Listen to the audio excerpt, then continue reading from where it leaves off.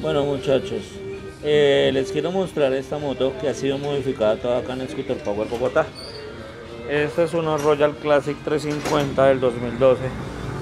Como ustedes la ven, cuando enfoque bien, totalmente negra.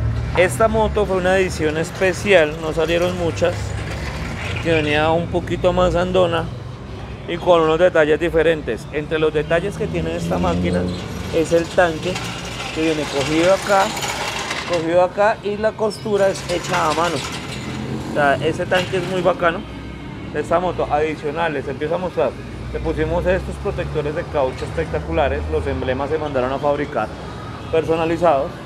Le pusimos el emblema del guardabarro que eso es en bronce. Si lo pueden ver. Los radios se mandaron a cromar, se mandaron, perdón, a poner todos para el mismo lado, tipo flor que llaman le pusimos caras blancas a toda la moto. Esa moto venía toda negra, así que le hicimos cromo acá, cromo acá, brillamos las barras, el motor, las tapitas brilladas.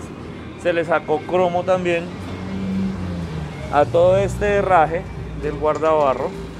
El guardacadena de esta moto viene metálico, muchos, la mayoría son plásticos, este viene original metálico. Se mandó a cromar igualmente que la tijera. Toda la tijera es cromada. También se le cromaron las tapas internas y se sacó todo de la moto completa Las sillas son tapizadas en cuero, tiene el corbatín en cuero completo, los grips son en cueros. Y como la ven, se le han hecho hartas cosas, tiene filtro y alto flujo, detalles muy bonitos en la máquina. Cualquier información me avisan.